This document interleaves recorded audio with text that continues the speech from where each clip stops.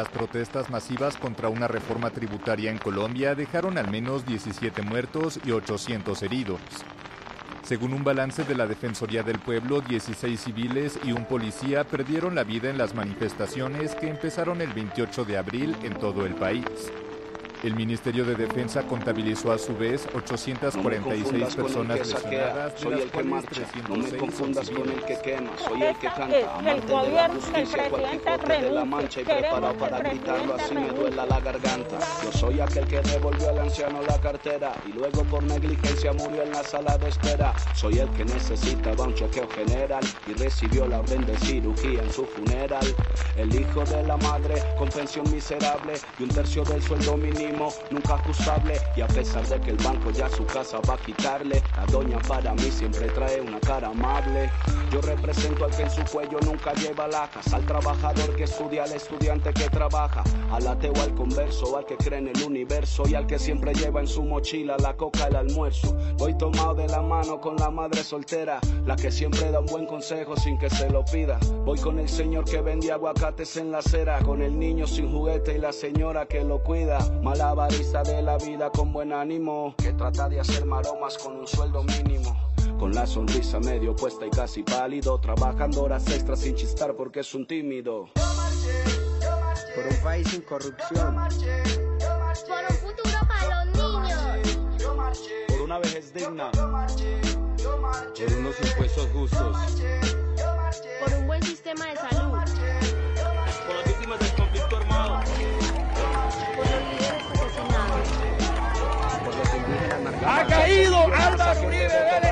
Barranquilla, no joda. Marchando al empresario que estuvo bajo amenaza y hasta viejo cascarrabias que nunca sale de casa mejorable. Que si esta historia es mejorable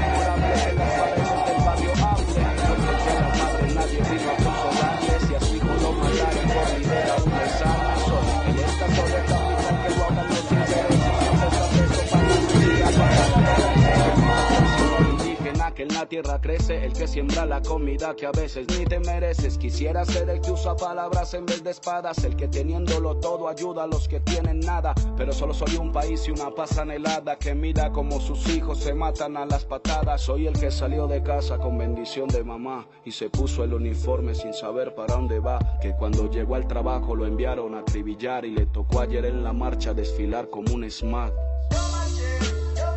Por la paz que nos merecemos por una educación ideal, por el derecho a la libre expresión, por un país sin desplazados, por nuestros recursos naturales,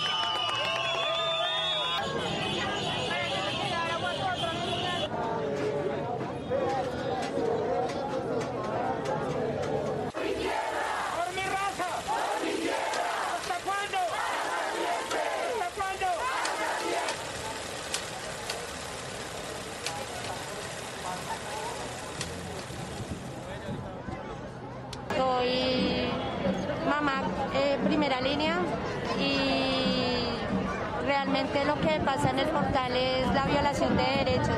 Nos están vulnerando nuestros derechos a la vida, sobre todo. ¿Cómo, cómo a la pelea? O sea.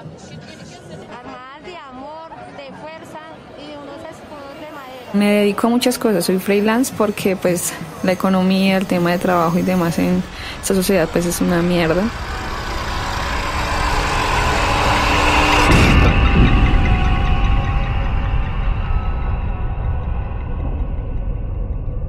La primera línea fue creada para defender al pueblo, para defender a los marchantes. Lo que se considera como organización de primera línea está dividida en tres sublíneas. Que en la primera pues están los que aguantan el chorro de agua, los que mantienen al SMAT. En la segunda están los que contraatacan, el grupo de choque directamente. Y en la tercera están más de derechos humanos y primeros auxilios. Esa gente está para ayudar tanto al pueblo como ayudar a los de pues a la gente que está en ese momento combatiendo. Porque si la fuerza pública, que es para el público, para el pueblo en general, no los va a proteger, entonces la primera línea es quien debe proteger al pueblo. Pero obviamente van a haber momentos donde nosotros tendremos que atacar para mantenerlos a rayos, si no se nos van a venir encima.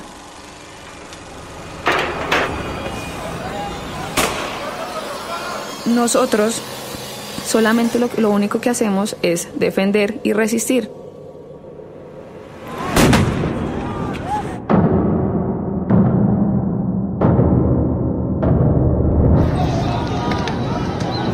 que nosotros no vamos a atacar al pueblo porque es que al final de cuentas la policía también es pueblo, ellos también tienen familia, hijos, madre, todos los están esperando. Vamos, perrito, resistencia, duro.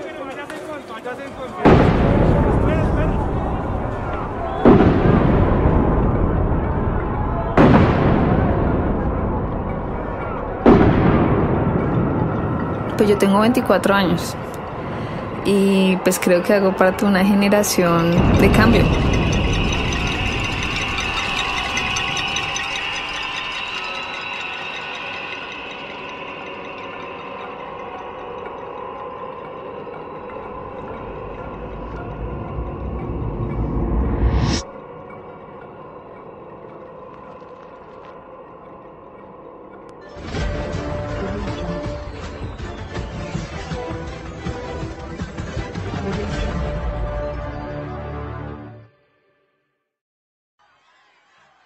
Barranquilla.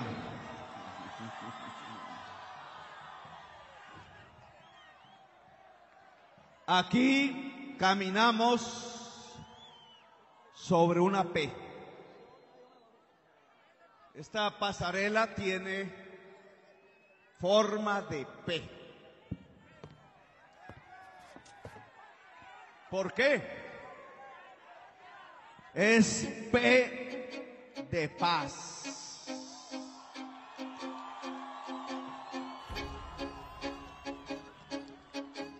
Es P de pacto.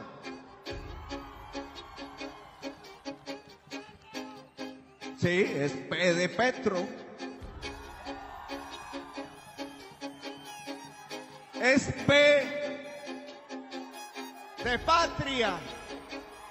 Es P de pueblo. Pueblo. Lo único que puede cambiar la historia de Colombia es el pueblo.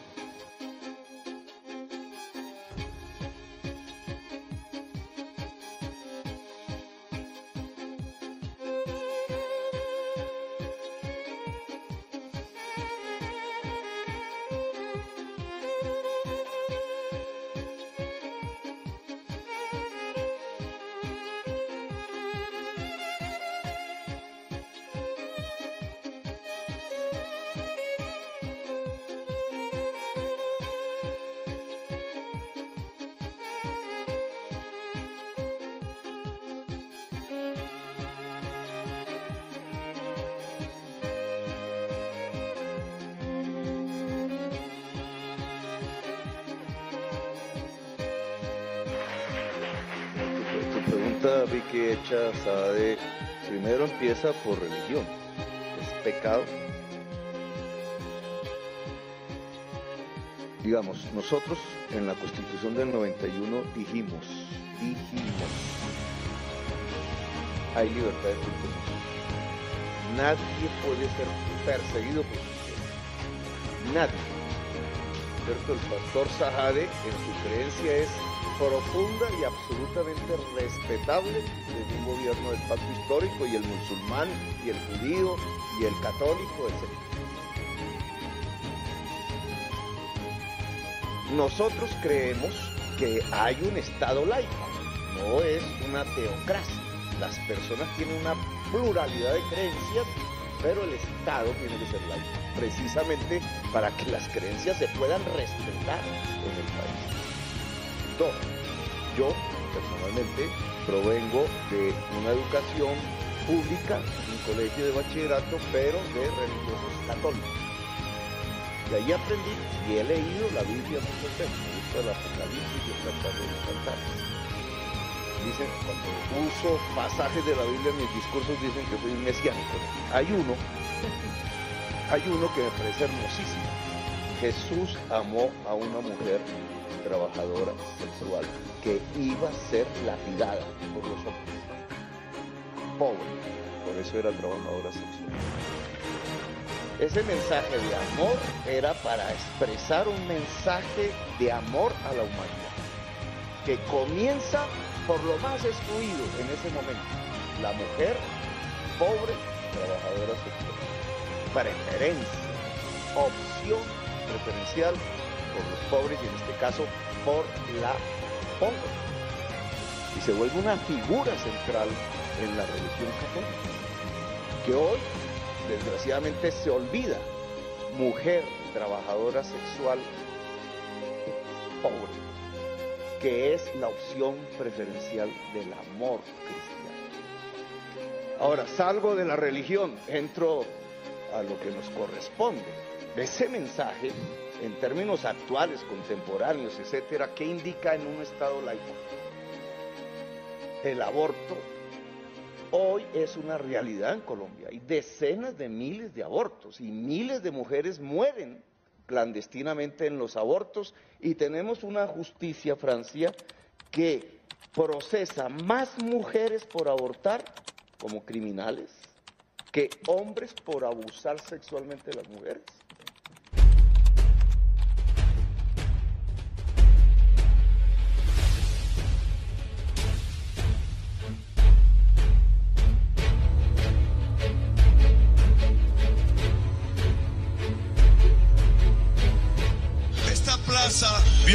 Allá en esa esquina a hachazos al general Rafael Uribe Uribe, el único liberal que estaba en ese congreso, el único que pedía que se derogara la constitución de 1886, porque era una co- constitución retrógrada que le había quitado los derechos y las libertades a toda la ciudadanía colombiana.